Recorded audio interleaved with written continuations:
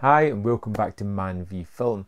I have been plagued, plagued a lot by my watch pile, my ever growing watch pile, which sits just off to the side here, uh, constantly my face in front of computer and camera, so that it's always there, always present, always alerting me to how large it is growing. Now, if you watch the kind of community tab, you've probably seen pictures of my ever growing watch pile. And for myself, this is something that I find drives the anxiety a little bit uh, for me. I've spoken about this before, way back a couple of years ago.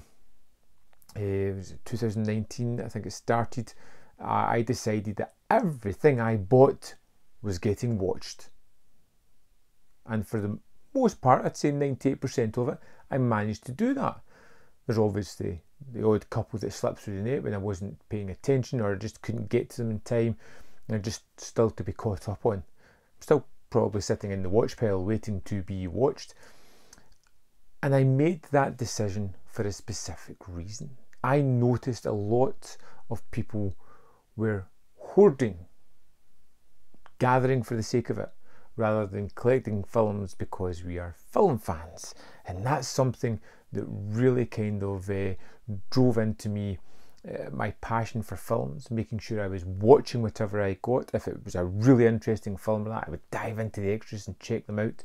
Um, it was always something that I, I kind of took to, and I found it to be the most rewarding fact uh, or facet of being a collector.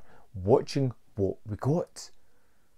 What's the point in getting them, throwing them into the collection, and just marveling at the cover art, which can be really lovely, but never actually using the disc. You're buying plastic, you're buying paper, but you're not getting the use of it. So when I made a separate section for my watch pile, I would always put new purchases there and try to get through them as quick as I can. Of course, life has its ups and downs. I've had some difficulties recently, um, particularly at work where things have been extremely stressful. I haven't been happy about certain things, and I've had to put my attentions elsewhere, which meant that a lot of the fun things in life kind of went by the wayside, which shouldn't really be the way because usually when things are stressful or tough, movies are my go to to to de stress, to get away from everything. But things were at a certain level where I just couldn't do that, and for a couple of weeks I, I barely watched anything. It was it was tough. Of course, there's movies here from as far back as uh, April March that I picked up in the last indicator sale that I never really watched, but they're still there waiting to be watched. And I feel that because of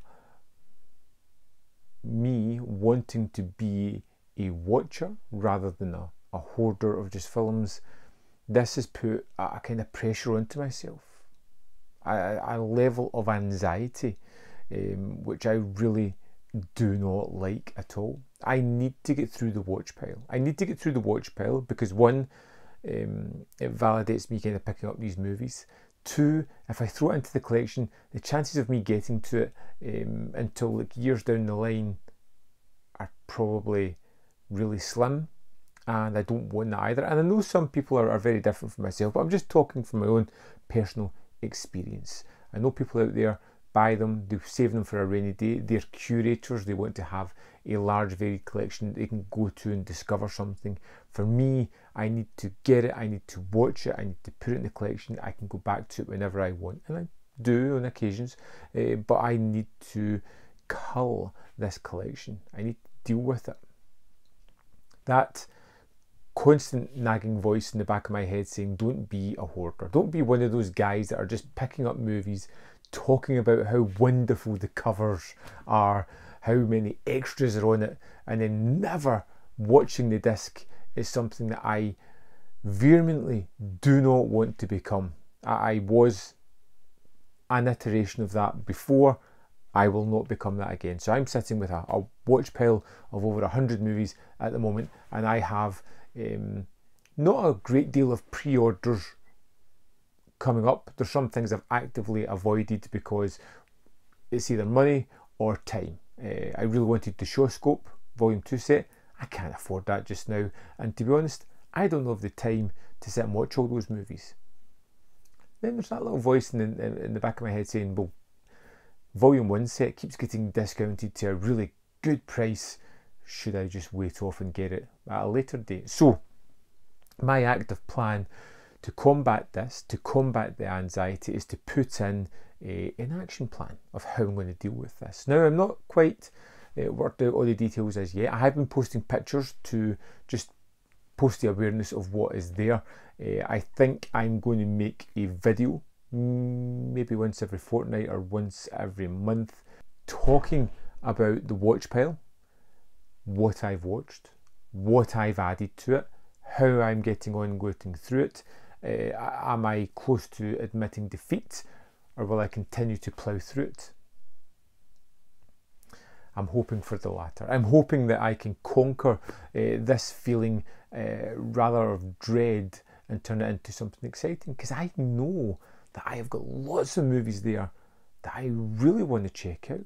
Some exciting new favourite movies that I'm going to watch for the first time are just sitting in this daunting pile of films, and I won't let it cause me as much stress or anxiety because I am going to work and get through it as much as I can. But it's just one of those little foibles of the collecting community, you know, look, uh, the awareness of the different types of collectors that are out there, the different kinds of film fans, and what we don't want to be and what we want to be. Uh, kind of suppose we do the same in life, the kind of person that we want to be. I will do this. I want to know uh, what would you like? Do you think a, a video every fortnight or, or, once a month, just talking about the watch pile, going through the movies, um, talking about how many I took out, how many um, I added.